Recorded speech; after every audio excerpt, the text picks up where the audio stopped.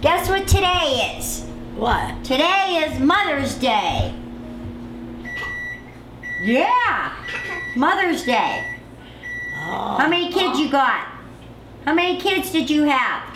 seven. You had seven, seven boys, huh? How many girls did you have? What's your What's your daughter's names? Judy and Betty. Judy and Betty. Judy and Betty. Yep, Judy and Betty. It's not a burden. It's hard. It's hard. Not yeah. easy. If it was a but burden, It's not a burden. I think if we called it a burden, I don't think we'd be here right now. So no, And not a it's burden. Definitely hard, and it's trying. But Time consuming. yeah, it's time consuming. Yes.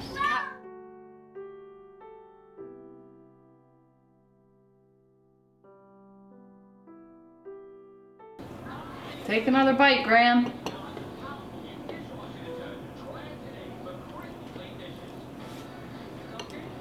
Well, after dealing with it for so long, you know, at first it's very sad. You do a lot of crying, and it's and you know, watching her go through it, and then when she doesn't remember who you are when you're there every day, is very very sad. And uh, we all, you know, still other family members who come to visit her every once in a while, they go through it still because they're not around as much. You know, we've deal we've dealt with it for a long time now, so our family, we like to joke around, and we found that you gotta laugh, you gotta joke, or you know, you just can't cry all the time. Grandma, will you take these pills for me? Absolutely. Absolutely. All right, here, I want you to swallow these, okay? That's your medicine. That's gonna make you feel better. You know, it's a lot of hard work to do what we're doing, but we're getting through it. My mother's a saint. She's done it for so long, and she's done it so well. And my grandma's still living, and my grandma is still living because my mother has helped her to be where she's at. And the roles have reversed. You know, my grandma took care of her when she was a baby, and now it's like as if my mom was taking care of my grandma as a baby. Hey, baby. Hey, baby.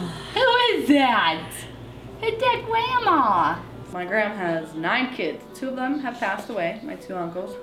So seven, which are, you know, part, my mom's part of the seven that are still living. And my mom is still the only person who is here faithfully every day. You know, my Aunt Judy comes once a week. We're thankful for that. You know, the rest, where are they at? Where are they at? And that, I think that is a really big thing for my mother. She, you know, she said she's trying to let go of the fact that she chose to do this and that they did not. I love you. Love you. Tell Grandma Natchko, love you. Love you, Grandma. It's, it's, it's, a, it's a sad process to see what she's going through. Um, Hard to let other people in. me and my brother were talking the other day. My mom would be very surprised to know that I'm the one taking care of her, not my sister Judy. Because I think she always assumed Judy would have taken this role. She is a caregiver in every sense of the word and not just taking care of my gram. But she's getting older and she's starting to slow down a little bit and she, you know, she's starting to, she's starting to, you know, get a little run down. You know, it's, it's been a long road. I'll even say to my mom, Grandma. Do you know how hard this is on me? You know, you have to help me. You know, it's just hurting my back, but She doesn't it's know. senseless saying that. But She I, doesn't but know. uh, I do say it. I couldn't do it if it wasn't my grandmother. You know? It's just not for me. But when it came to my grandma, I said, you know what? She used to change my diapers. I could do the same for her. You know? Say love you. Love you. Good night. Oh, night. I can't believe she answered. Goodbye.